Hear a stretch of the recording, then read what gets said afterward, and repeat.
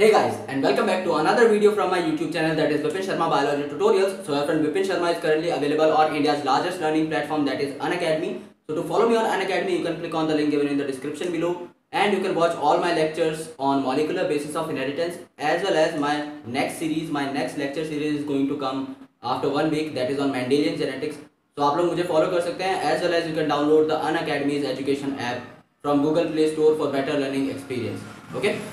So this time we are going to talk about a very important process that is the absorption process. Okay.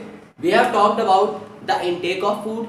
We have talked about the digestion process in detail. The digestion in buccal cavity region, the digestion in stomach region, the digestion in intestine region. Now it's time that how the food is absorbed. Okay. So what is absorption firstly? The absorption simply means that when the food is sent from intestinal mucosa into the blood stream okay so intestinal mucosa से blood stream में जब जाएगा food digest होने के बाद that is known as the absorption process so the final products of digestion goes to the blood stream and that process is known as absorption after that those were sent to the specific tissues and those tissue will utilize the food for energy or for different kind of repair processes that utilization of food is known as the assimilation process which is the next step. Okay? So intake of food then digestion then absorption that is the absorption of food in bloodstream then assimilation which is known as the utilization of food by tissues or by organs and after that the last process is egestion that is removing out of the undigested food materials or unabsorbed food materials. Okay so absorption जो है that can take place by different kind of mechanisms. We have talked about the plasma membrane.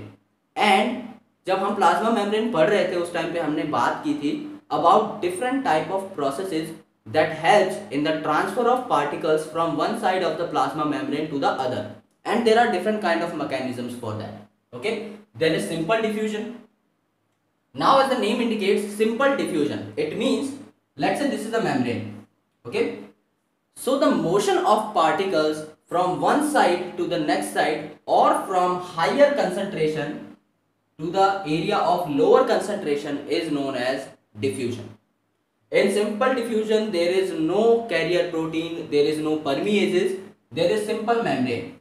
Okay. So let's say there are five molecules of a substance here and only one molecule here. So it will move from higher concentration to the lower concentration And let's say there are 10 molecules here and only one molecule here.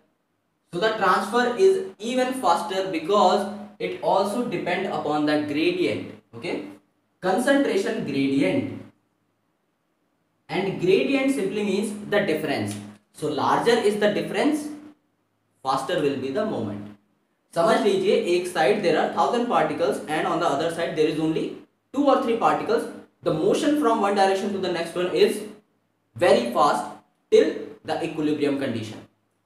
And let's say there are only 450 particles in this side and 400 particles on this side. So the equilibrium condition is going to be about 425 particles. So there is very slow motion. Since the equilibrium position is quite near there is only 25 particles to pass. So it depends upon the concentration gradient which is the most important point in this case. Right? Now let's talk about the facilitated diffusion. In case of facilitated diffusion, there is plasma membrane like this. This is the one lipid layer, this is another lipid layer and there is a carrier protein present in between that. So one particle will be taken by this carrier protein. It will invert its configuration. Okay. Let's say the cap is a particle. Okay. The pen is a carrier protein. So this is the carrier protein and this is the particle. The particle is attached to the carrier protein. After that the carrier protein will invert its configuration like this and the particle will be removed and it will be transferred to the next side of plasma membrane. So this particle is sent from this side of plasma membrane to this side of plasma membrane easily just by the inversion of configuration of this carrier protein and after transferring this particle to this side the carrier protein's configuration is inverted again so that the next particle can bind and it can be transferred to the other side of membrane. This type of you know transfer in which there is simple plasma membrane but only a carrier protein is used इसे बोलेंगे facilitated and in both simple and facilitated diffusion there is no energy needed why because the motion of particles is along the concentration gradient यानी कि the motion of particle is from high concentration to the lower concentration तो वो खुद ही move कर लेंगे. They do not need any kind of energy और force to move from one direction to the next one okay so these are passive transport because they do not require A T P और energy but just opposite to that there is active transport in which let say there are ten particles here and there are two particles here if we have to move these two particles from this direction to this direction we have to give energy why क्योंकि nature के rules क्या कहते हैं the rules of nature says that the diffusion will अगर from this side to this side but we have to transfer these molecules to this side so we have to apply some force okay so we will give some energy and we will use some ATP to move these particles in this direction this is known as active process and when the motion of water occurs specifically water okay okay? जब सिर्फ पानी की बात करते हैं हम उस case में हम बोल देते हैं osmosis which is also kind of passive transport okay we do not need any kind of energy in case of osmosis so osmosis is also very important so there is simple diffusion there is facilitated diffusion okay there is osmosis there is active transport so osmosis is specifically for water. And in rest of the examples the NCERT says that it's quite complicated. Okay? So you don't have to memorize all these examples because in all of them the monosaccharide or glucose is getting transferred through simple diffusion.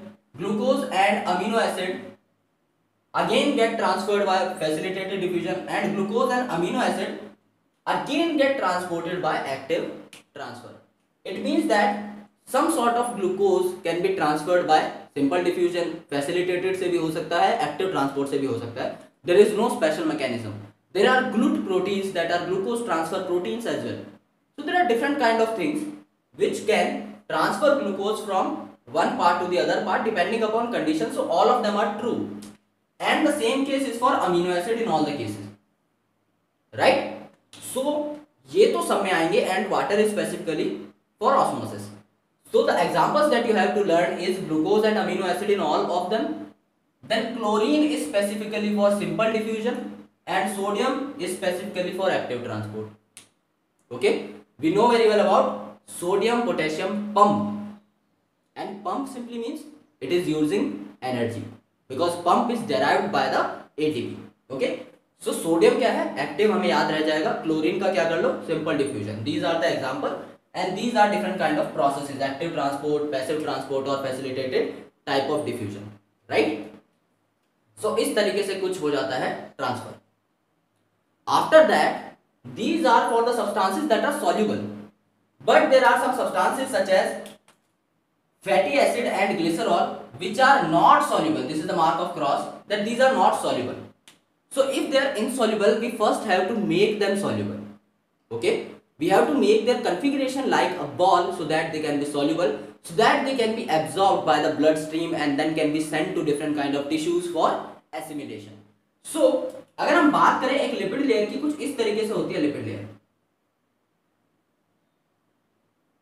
okay this is one layer in most of the cases it have two chains like this okay and there is going to be the another layer like this and in plasma membrane these are known as lipid bilayers this is the polar head this is the non-polar tail or we can say them hydrophilic hydrophobic depending upon the position so they used to blend.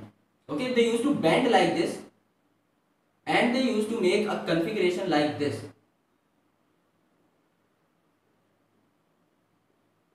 Okay, this particular ball-like structure is known as micelle. So firstly, fatty acid and glycerol which are not soluble, they used to form a configuration like mycele. It is a droplet-like structure because it is spherical, right? So it forms a droplet-like structure उस droplet like structure को हम क्या कर सकते हैं it can be transported to the intestinal mucosa because this particular portion is hydrophilic and this is hydrophobic so the outer end will be hydrophilic completely and the inner end will be hydrophobic so now it becomes a little bit soluble okay so this soluble micelle droplet is now sent to the intestinal mucosa region okay and after when it is sent to the intestinal mucosa region a protein covering used to cover it so there is fat in between okay the core is formed up of fat which is covered with the help of proteins okay so fat और protein का एक जो है वहाँ पर cover तैयार हो जाएगा फैट के ऊपर and that particular structure is known as chylomicron okay it is known as chylomicron specifically so if one would ask you about the structure of chylomicron it is a fat core which is surrounded with the layer of proteins so fat or protein की यहाँ पर layer है which is now more soluble okay since proteins are soluble so these can be absorbed in lacteal now what is lacteal it is a kind of large lymph vessel we have already talked about the structure of villi okay and in villi we have seen that there is structure like this okay These are finger like projections called villi and this is crypt crypt of Lieberkühn so there is a large structure called lacteal okay like this. Large lymph vessel called lacteal. And after that there are some veins which are transferring the blood supply to this. And there are some arteries also okay some arteries also. So this dark large vessel is known as lacteal.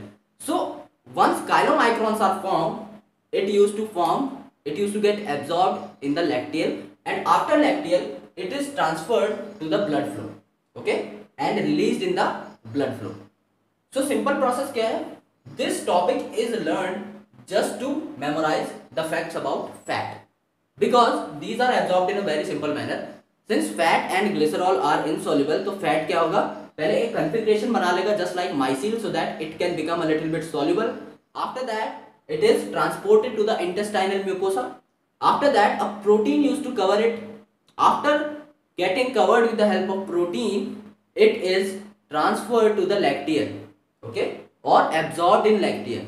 And after that it is released from lacteal into the blood flow. And after getting released in the blood flow it is sent to different kind of tissues. And that tissue will absorb the nutrient and will utilize it for their repair for growth for different kind of metabolic processes for deriving energy all these kind of processes will take place वहां पर हम उस process को बोलेंगे assimilation okay so this is the assimilation where the food is utilized after absorption the maximum amount of absorption takes place in the small intestine region this is a fact and you have to memorize it okay? Because intestine do contains villi and microvilli which increases the surface area up to several folds. So the absorption is maximum in that particular area. After that the food is stored in the rectum area of large intestine. Okay? There is cecum colon and rectum. So the food is then absorbed assimilated and the undigested and unabsorbed food is sent to the large intestine and is stored in rectum after that there are some sort of neural reflex okay दिमाग को signal मिलेगा और वहाँ पर हमें पता लग जाएगा that we have an urge और a desire to release that food outside our body with the process of egestion okay so हम क्या करेंगे? उस फ़ूड को बाहर निकालने की कोशिश करेंगे with the help of a neural reflex that will give us the signal that now it's time to release the food outside the body. So with the help of mass peristalsis movement mass peristalsis movement simply means the contraction of different kind of muscles or walls. Okay? So with the help of mass peristalsis movement the food that is present in rectum is you know released outside the body through anus and this process is known as defecation. Why defecation? Because the undigested or unabsorbed food is known as feces. So that's why defecation so this is a basic lecture on the absorption and assimilation of food. That firstly food need to be absorbed into the bloodstream by different kind of processes. It can be simple diffusion, it can be facilitated diffusion or it can be active transport or osmosis.